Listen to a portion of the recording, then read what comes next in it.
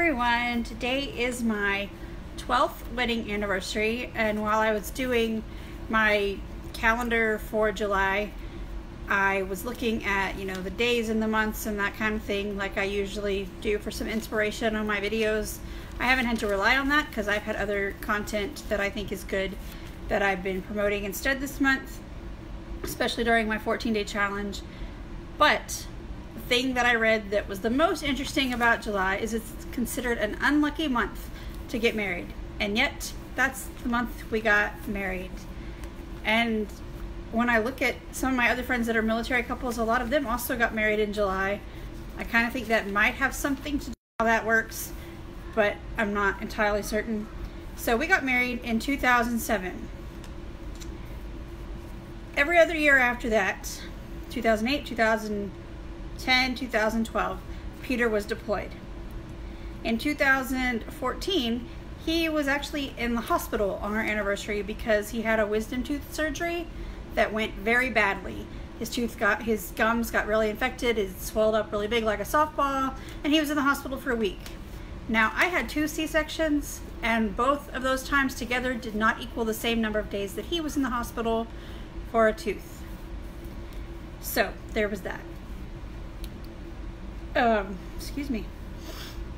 So for three of our anniversaries, we were apart due to the military. One because of surgery, and then two because I took Dietrich to camp. Now, last year, we completely both forgot our anniversary altogether. We don't exactly know what happened, but it wasn't until like the uh, late in the day that we noticed it. So, anyway, we forgot last year. This year we did not forget. We've um, spent time together and had a good day. But on the note of unluckiness to go with the weddings, a little bit of fun things about our getting married. So about a month before, maybe not even that long, before our wedding, the water fountain in my parents' fellowship hall broke and flooded their fellowship hall.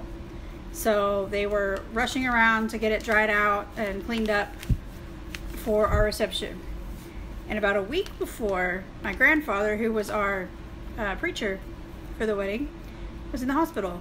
He did get out and recover in time to do our ceremony, but he was pushing it a little bit to do so.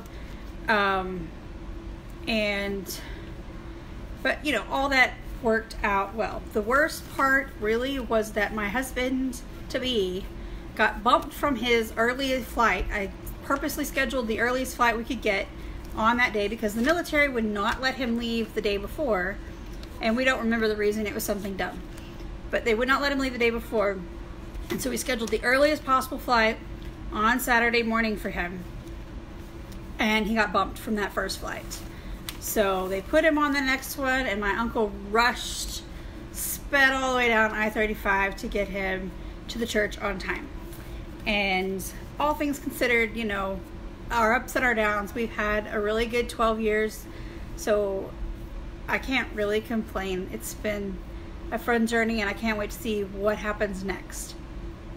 So if you think that you're unlucky, I have four tips to help you um, turn your luck around and you can make the best of any day. So if you would like those, shoot me a message and I will send them. Bye.